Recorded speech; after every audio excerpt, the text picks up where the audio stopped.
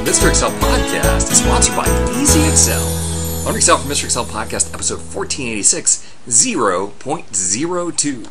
Well, hey everyone, uh, I'm glad to be back from Miami. Uh, I have a funny story. I was down there, I was doing a seminar for CFO Magazine, one of their conferences, and I'm going through the Power Excel seminar, which, you know, I've done a lot of times, and I have a lot of this just, you know, flat out memorized. We're talking about if statements, and the formula that I need here is equal if and uh, sales greater than 20,000, comma, GP percent greater than uh, 0.5 or 0.5. If all that's true, then 0.02 times A2, otherwise 0. Right? And someone says, hey, what are you doing with the 0.02? I said, well, that's 2%. He says, yeah, you're wasting a lot of space. Uh, the first guy says, you don't need the leading zero. And the other guy says, no, no, no, wait. You don't need any of that. Just put in 2%. I'm like, what? That works? Times F, or uh, A2, otherwise 0.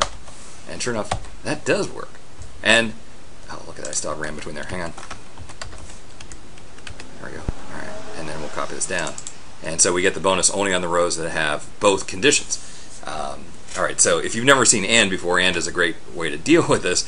Um, but I was kind of like, oh, that's cool. Hey, that saves me some keystrokes. And everyone in the room was like, well, of course you can do that. Here, I've been typing 0.02 for all this time. So you're probably looking at me and saying, well, of course you can just type 2% in your formula. Never knew that. So I'm passing that on. I uh, learned something new down in Miami this week.